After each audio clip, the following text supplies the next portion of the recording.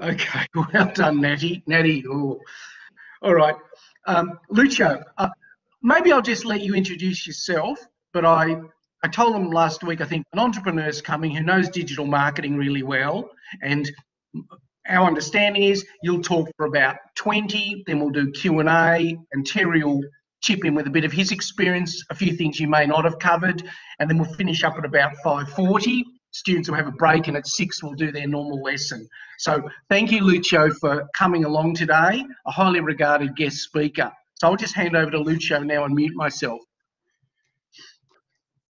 All right. Thanks for having me. So I was I was lecturing up to the last semester. I was lecturing at Deakin. So that's good to know that I have been kicked, fully kicked out yet. It's good to know that I'm still. Hey, I'm yeah. I'm still accepted in the room. That's a really good start. Good stuff. I know. Alrighty. Who am I and why I'm here? So my name is Lucio Ribeiro. Uh, That's my email. That's my LinkedIn.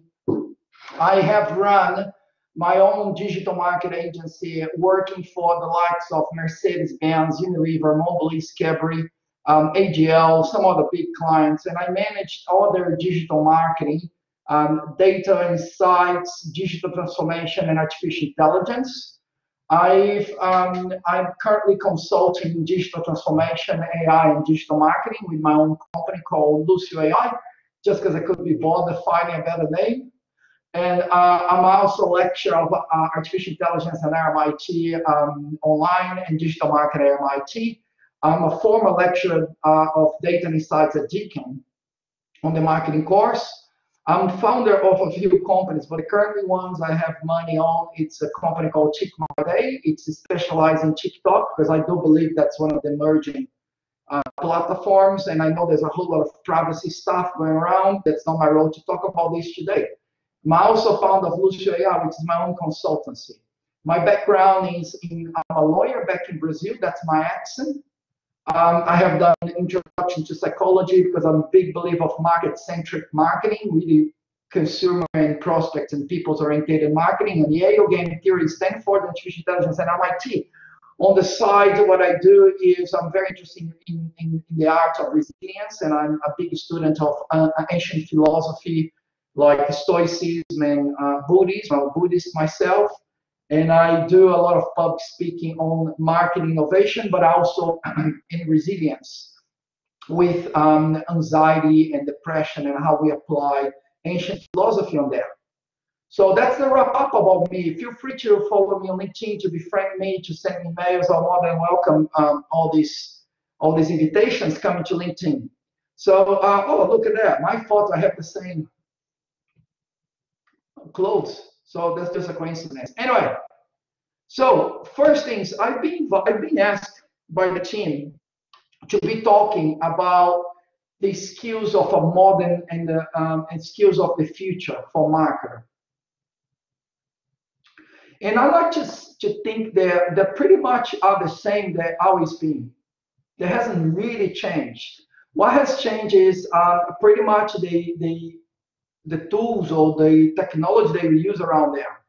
And um, I put this this presentation, um, and I use all my skills based in uh, what I've been seeing the last 10 years, based on conversations I've been having, based on the clients, um, based on the. I have supported a lot of my clients in, in recruiting for roles like head of digital and CMO and um, head of marketing. I have helped a lot of my clients to be um, recruiting for those roles. And I noticed there is uh, there's a lot of commonality, and um, there are few that there are few things that absolutely they are they are now new. They weren't back in the time, like uh, understanding of digital, understanding of artificial intelligence. This is a, a, a new thing, of course, but pretty much the, the skills, the, the mindset, the, the aspirations are the same. I listed here some of the, the things that I believe they are absolutely um, mandatory for um, anyone looking for entry jobs to mid-level managers to senior leaders.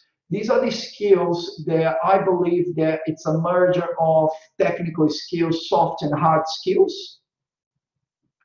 They all come together to form this really modern, this really efficient um, um, marketer who knows how to work on the efficacy game, but also knows how to be efficient on, efficient on the tools. So I thought this would be a good start for you. And if I go through, um, we do have about, I would say, another 15 minutes to go through these um, 11 skills. And there's 11 uh, um, items that you should be thinking about it on your career. And this is not just about building up a career like a professional, uh, a, a trader. It's also about you. If you think about, I've been both sides. I've been, I've been, I had my salary paid by someone else when I worked for someone else, and I also had the salary paid by myself when I built my own, my, my own agency. When I sold my agency two years ago, we were about 50 people. We were turning about $10 million revenue with some good clients. So I've seen the both both sides, and I believe this is applicable for for um, an entrepreneur as much as it's applicable for someone who is working in a corporate and getting salary from a corporate. So I listed all of them. Feel free to take a print screen. Feel free to uh, uh, to download this. But I'd like to talk to you one by one now. So the first one is um, curiosity, and I think this is um, this is a, a, really soft skills that get a lot of confused. So a really good a really good marketer, a really good marketer, a really skillful marketer, marketer, sorry, it's always going to be asking questions, you know, about why and about how and about what. It's it, this is curiosity. I, I used to say this is the street smart, you know it's this insatiable, insatiable appetite for, for learning and adapting. And um, I've seen this as an entry point. I could pretty much dictate. I look back when I start my agency and I employed some of these younger um, uh, staff, and, and, regardless of the background, the, the, the gender, regardless, there was this thing that I could smell working with them after a few months and I just knew those who had curiosity, they would go, they would go further. And it's almost like this uh, uh, observational psych, uh, uh, uh, psychological experiment that I look now 10 years after I have employed them for the first time. And those who had this uh, sense of big curiosity, they now work in big roles and they are they have really progressed. Not the other ones haven't, Perhaps it's just a little causation here. There's no really, it's a correlation, there's no causation. But it's this, it's this curiosity that drives, you know.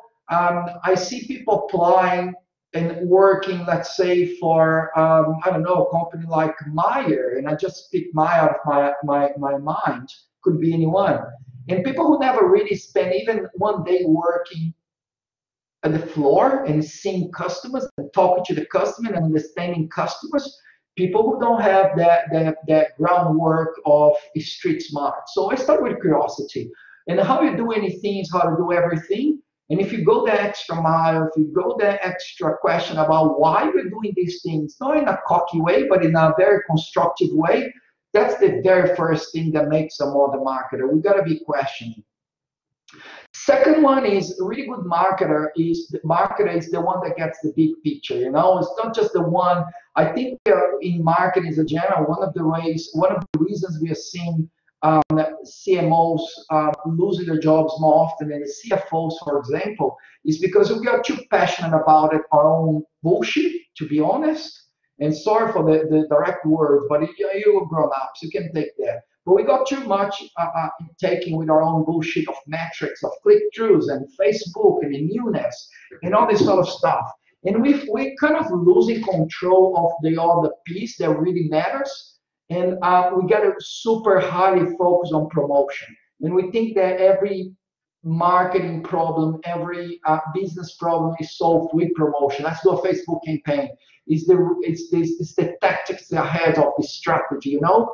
And you can see the really good marketers. They put all the the the the, the uh, um, the the pillars of, of, of marketing, the four P's, they work with price. If you see a situation like coronavirus right now, we got a lot of business out of out of business because of the lack of preparation for one of the P's of placement, you know, distribution. There was no plan B for for this situation, and why why why you not work on direct to consumer DTC? Why you're not thinking that? The best the best solution I've seen um, throughout this coronavirus for the whole. You might remember the whole craziness about toilet papers, right? People buying, stocking toilet papers and I thought, I think it was in England. Then I saw the marketing team solve the problem. Here in Australia, we tried to solve the problem with communication, with promotion again, telling people to not buy. While in UK, these uh, supermarkets, what they've done is they they changed the price, they model the price, and that was really good for controlling. So they've done is you could buy one toilet paper for let's say five bucks, but if you want the second pack of toilet paper, you had to pay 50 bucks. And that's fine. You can take two if you want. And there was enough to solve the problem. So I think the second big characteristic of a market, about the market, is to understand the big picture, to talk about the four P's, not just the promotion, the, the P of promotion. The third one is the break rules. It really, it, it, the good marketer looks outside the category for inspiration, you know, and understands very much the, the, the, the difference between the power of utilizing distinctiveness or differentiation. They're not the same. They're not the same. And I think what I see now is a lot of marketers really focus on differentiation, talking about cheaper, better, faster, all the herbs on the differentiation, which is important. But distinctness, it's way more important. And if you just look within a category, if you're selling cars, if you're BMW, and all you look is inside a category, what Mercedes-Benz is doing, or Lexus is doing, what Audi is doing, it just talk about differentiation. You, you forget about distinctness. How can I be distinct in this whole market so I'm memorable?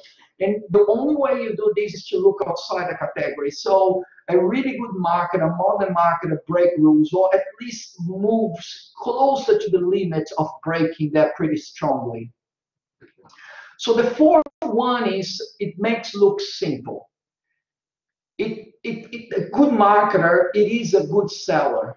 You know, whether you're introvert or extrovert, it doesn't really matter you need to know how to sell. You need to be able to, to work on this magical ability of summarize the principles that you're trying to communicate in this very concise, relevant, and commercial viable uh, way. Since I started my career, I've been I've been trained. I'm still not amazing making look it simple, but I still continue. Like my proposals for my my um, uh, prospects now are one page that's all. What all the agencies send 30, 40 pages of a deck, my proposal for my clients are one page. If I cannot make in one page, it's a proposal I'm failing. Today I had to write an email to the CMO of one of the largest telecoms in Australia. And my and my email was about five sentences. And I really was in a rush. So I used the famous Winston Church phrase. I say, I'm sorry for the long email, but I didn't have time to write a short one. And I truly believe that we make that look simple. And the way we make it look simple is you learn how to use dashboards. You learn how to tell stories that it can be summarized in visuals. So that's a really big skill. So they'll be a there'll be worth for you to take that short course in masterclass or Coursera about arts. You know what I mean? Why not? So just look what Steve Jobs was able to do just study, studying phones. All right, we are number four. We have another um, another how many to go? We have another uh, seven, another four, seven to go. I need a, a, a five seconds break. It just should take some air. Yeah, yeah, don't worry, no thanks. Um, students, you're really lucky to have someone like this with such a wonderful worldwide experience. I thought Lucio was Italian, and then later I thought studies in Brazil. I totally missed it. So uh, he's, he's not Italian after all, from Brazil. I beg your pardon? Oh, I thought you were an Italian speaker, Lucio. No, no, no. Not Italian. I'm Brazilian. Yeah, yeah, yeah, yeah. Then later I saw the qualification. I thought I didn't know, and then later you mentioned it. No, excellent stuff. There's a lot of a lot of goodies. You, you've got the track record. You've got a great industry track record and great insights. The students are lucky to have you. So thank you. Oh, thank you. And, and uh, uh you know, like in neuroscience, in neuroscience, the the the key, uh, uh, Michael, and you know that you're you're a professor for a long time. The key the key to teach is I do, we do, you do, and every time that I do, I get encoding that in my brain, in my long memory. So I'm also very lucky to be able to come here and, and talk to your students. So hopefully this is this is a both way streets that we're both learning. Yeah, you know, I'd like to talk to you sometime because I know a lot of big companies and um, there could be some opportunities. I'll, I'll later work out your exact skill. I mean, you got a lot, but anyway, anyway, I won't interrupt. Continue on. Well done. Thank you. So, Tim, hopefully you're still with me here. Um, short break. Let's go back. So, summarizing, we had 11 skills. That's according to me. we spoke about four of them, and now we're going to go to the next three. These three are very interesting. They're all connected. They're all connected. And this is one that I really want you to pay attention to. And I know these online webinars, they can get quite hard to fully pay attention. But this is a moment of truth here for you. There'll be another moment of truth in the next slide. But if you can just be with me for five seconds, because this is really relevant. This is probably one of the biggest ones on this deck. Is this short-term doer and long-term thinker. It's this ability to build campaigns that generates money right now, puts money through the door right now, but also these programs that build, build brand equity that will guarantee that you have a, a long-lasting business. So it's it's a good marketer understands the balance between building brand and selling right here, right now. You know, there's this there's this thing in in this current modern marketing because of uh, primarily on the promotional perspective, because of the rises of Facebook and, and the digital economy. This clear indication of a, a big tension that exists between short-term response activity and long-term brand building. You know, and the way in which long-term effects um, um, are generated is fundamentally different from how most short-term effects are produced.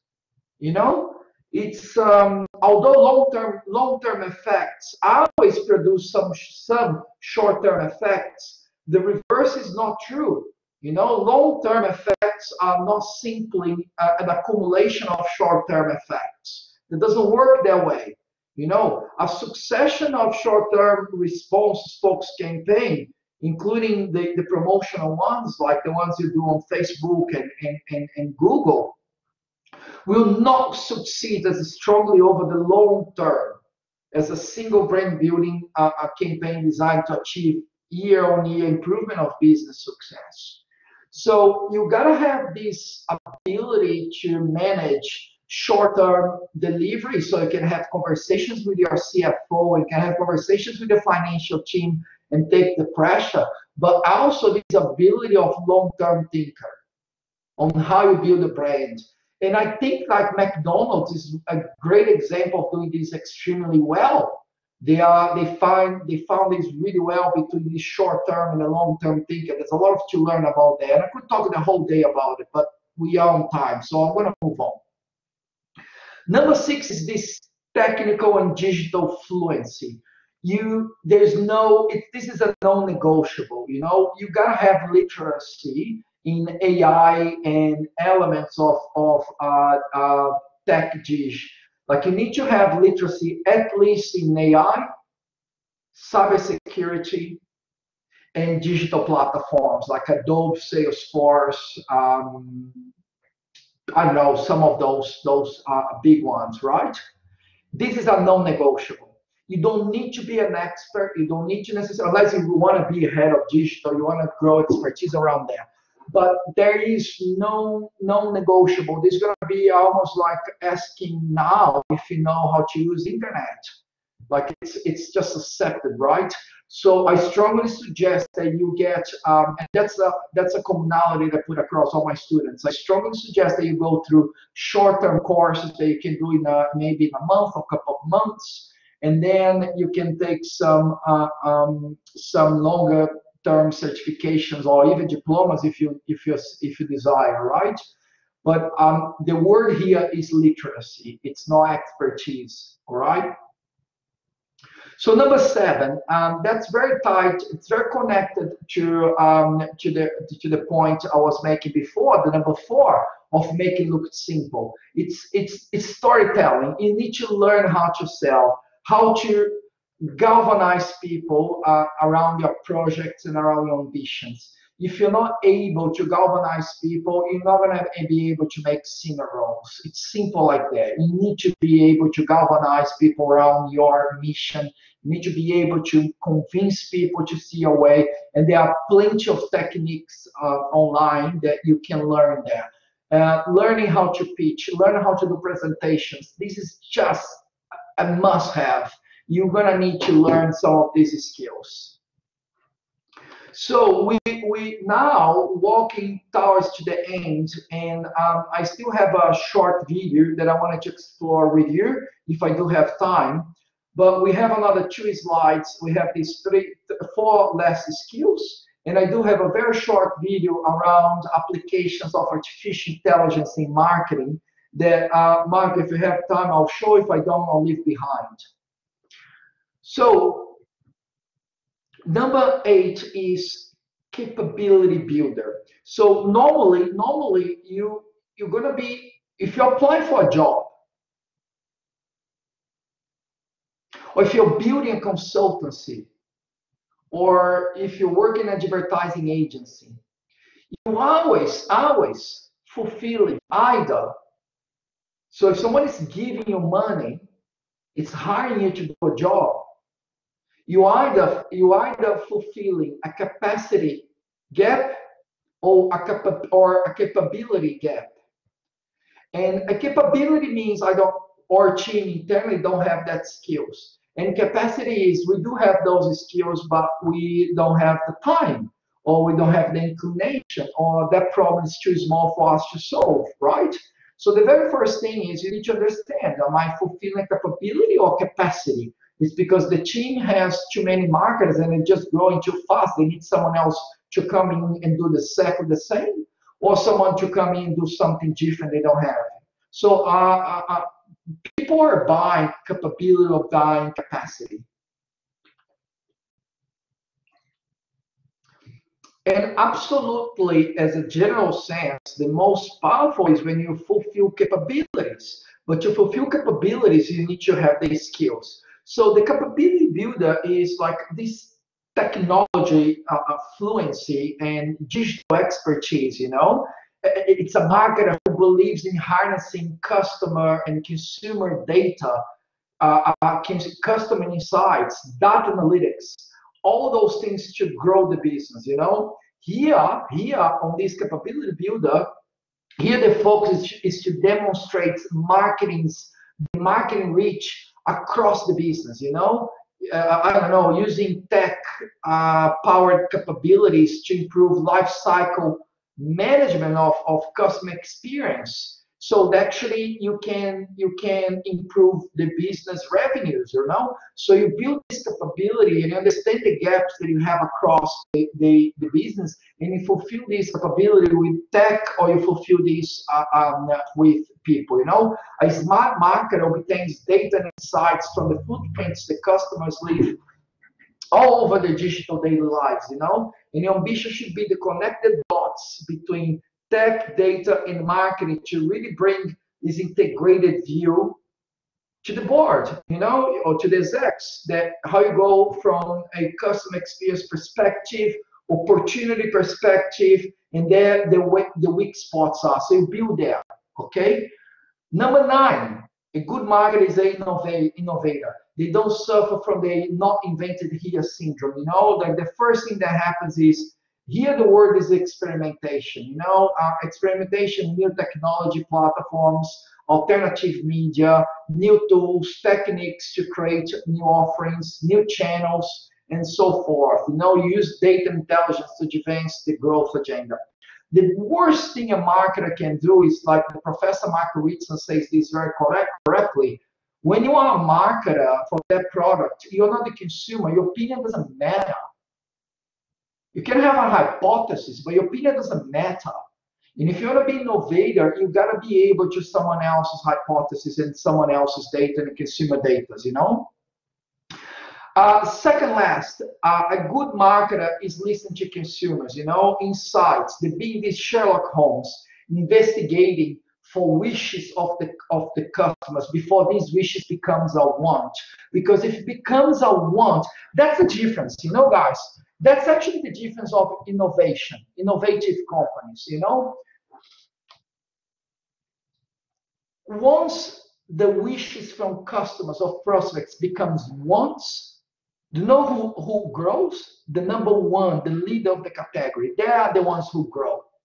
And if you're not the number one in any category, if you're not the number one in selling cars, if you're not the number one in banking, if you're not the number one in chocolate, if you do not understand wishes, if just waiting for the wants, you're not going to take the number one position. Simple like that. And that's fine. If your if your decision, strategic proposition is to be number two, number three, that's okay but it's understanding, it's being this Sherlock Holmes, this advocate of customers who understands data, it's investigating and understand wishes before they become wants.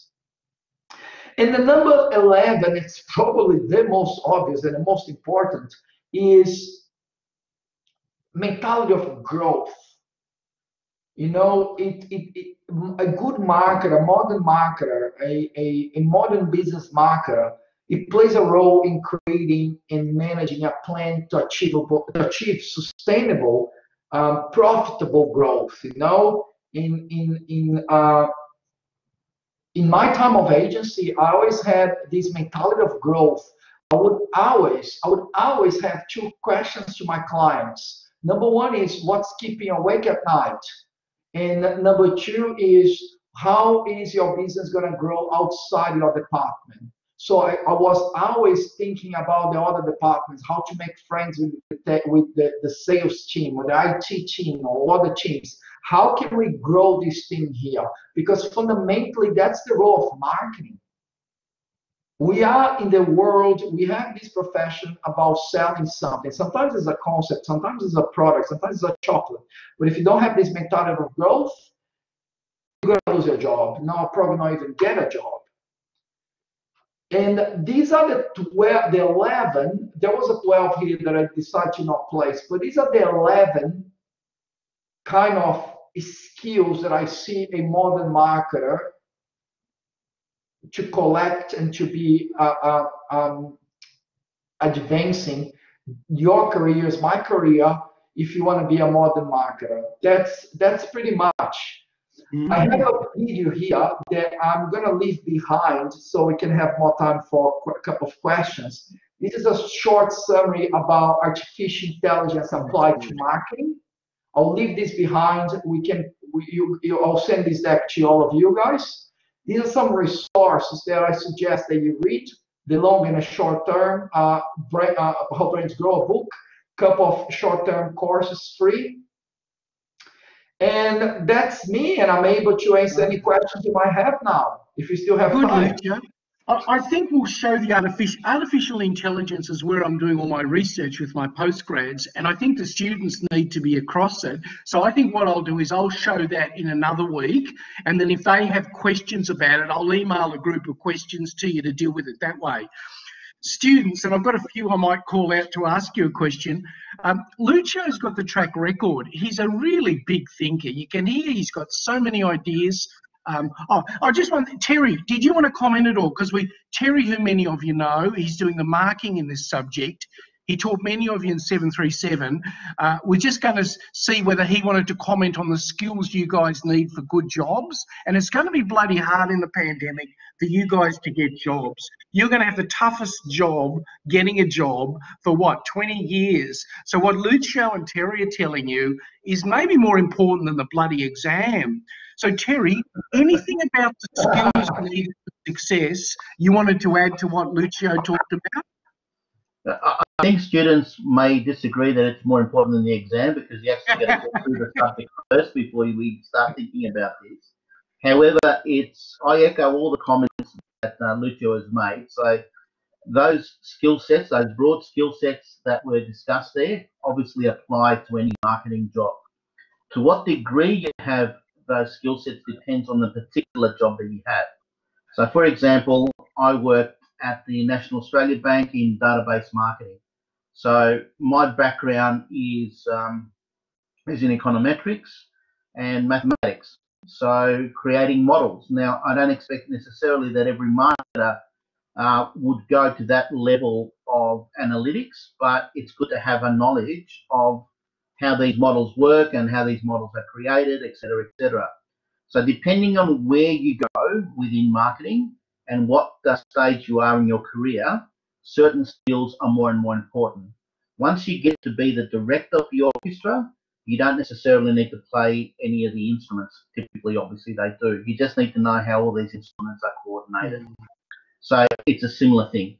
But one of the key things that uh, you've got to remember, and Lucio mentioned a lot of these, is regardless of what level you are in the organization, having strong communication skills Mm. Super important.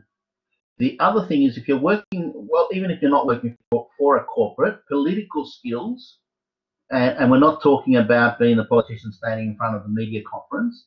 Oh, sorry, just define just just define political skills for the overseas students, because yeah, yeah. the word might be so, different so in Australia. Yeah, so that was I was about to say that it's not uh, the politician, but within any organisation there is a there is a structure, there is a, an underlying fabric that you need to understand and how you can interact with other people and how you can get your your ideas across.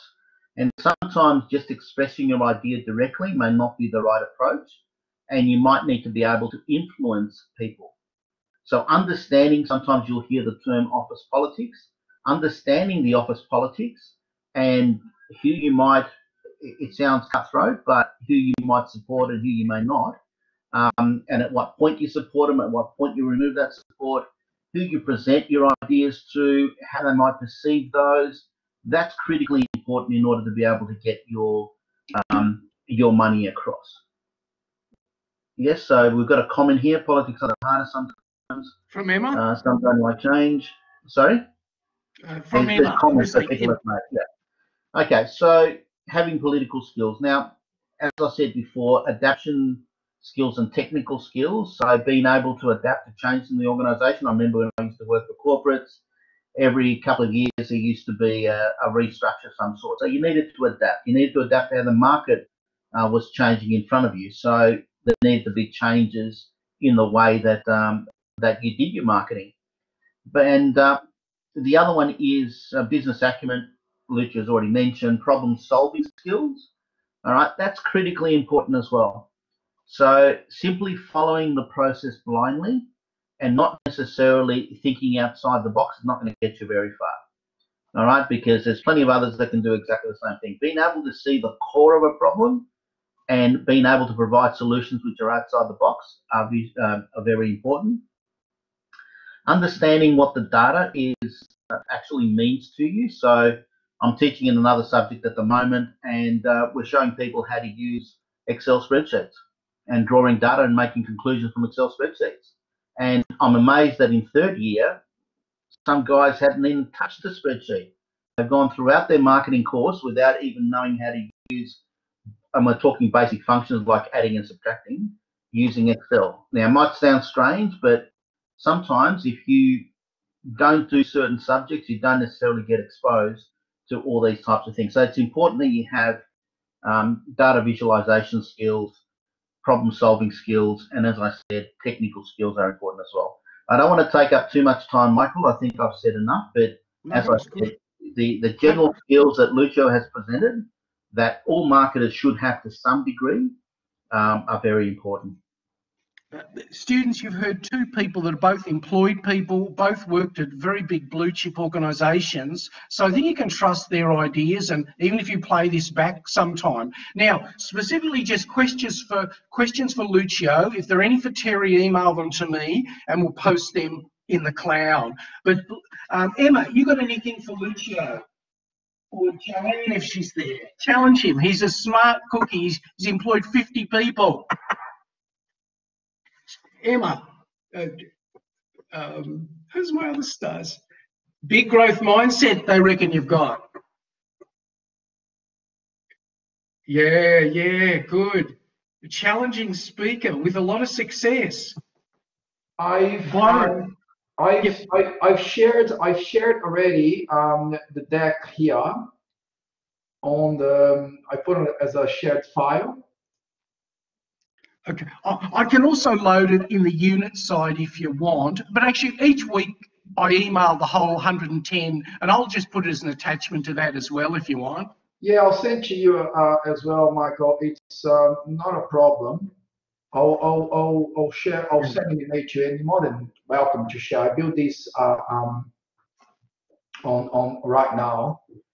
So Okay. I I got a couple of questions here. So I'll, I'll, I'll start with Samantha. How have you overcome challenge of opinions to get an online objective regarding a marketing campaign?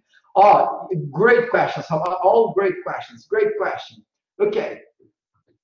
There is, it's a plague when you walk into a business and um, there is um, someone who sits there and say, "Oh, I'm not quite sure if we should do this campaign." And I'm talking campaign. Should this campaign on that platform because I don't think people use them. So usually my my my my question to that person is, who are the people you mentioned? Because historically, like science says that you cannot even hold more than 120 friends. But that's simple like that. You cannot. So you your your if you're super expert, your focus group is 120. Not even they Don't even get close to them. But the best way, Samantha, is data. It's the best way. It's a very simple way. So I teach um, young um, undergrads in digital marketing at RMIT, and I usually I ask them. Uh, we, we do have we do have we do have we do have some some classes where they say, "Oh, I don't want to use Facebook for this campaign. Facebook is a thing for old people." And I tell them, say, okay, great, that's your opinion, fair enough. Can you show me some data that tells the old people? Like for example, for example, I just did a campaign four months ago, three months ago, I can't remember, three, four months ago with Mini, BMW, the car, using TikTok. All right?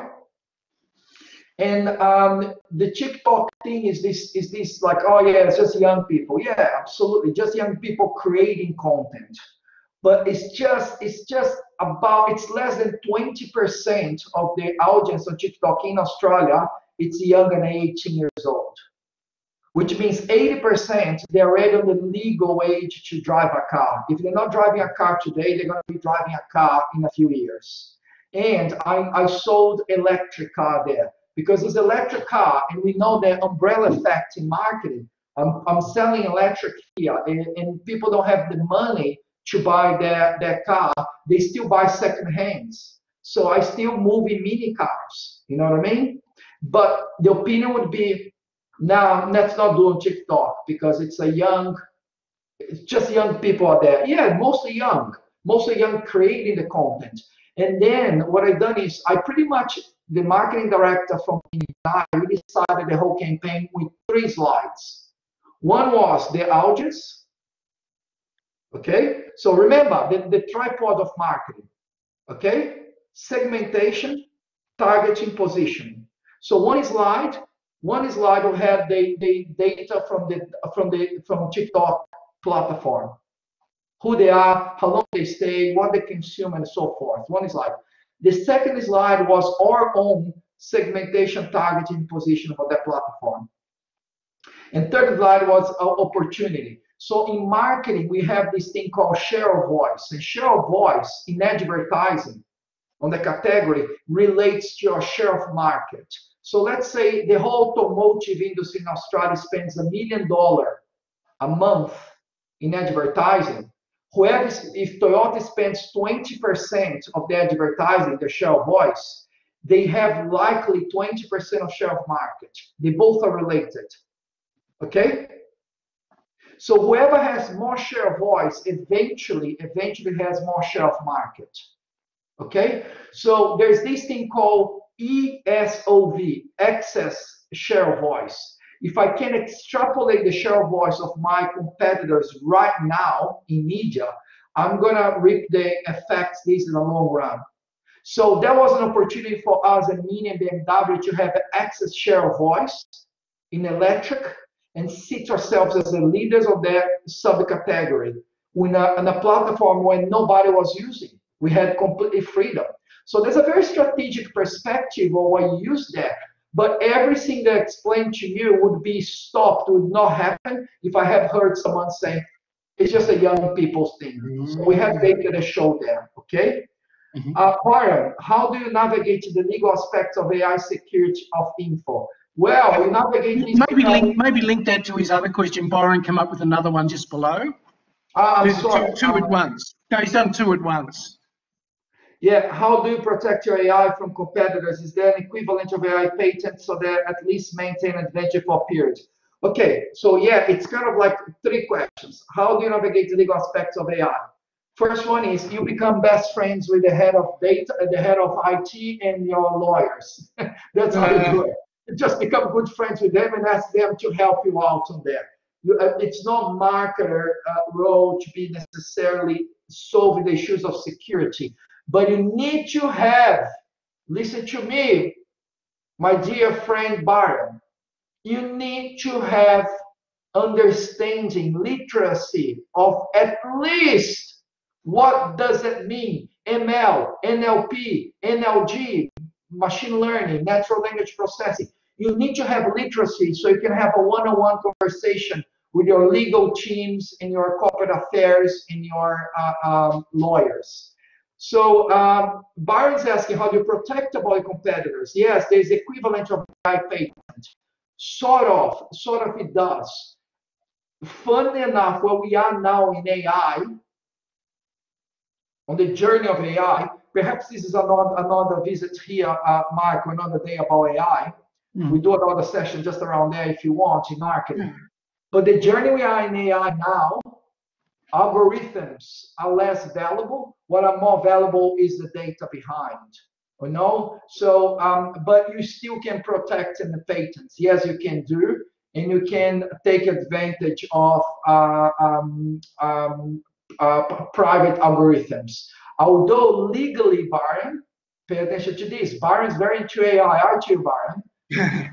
if you if you do something that you cannot. There's a thing in AI called explainable AI, and this is becoming kind of legislation that you're going to need to be able to open a black box AI and explain how you make that decision. So if NAB, Commonwealth Bank, is using artificial intelligence to detect who they loan money or not, who they approve the loans or not, you're going to need to be able to explain how you make that decisions. So eventually you need to open up the background of your AI.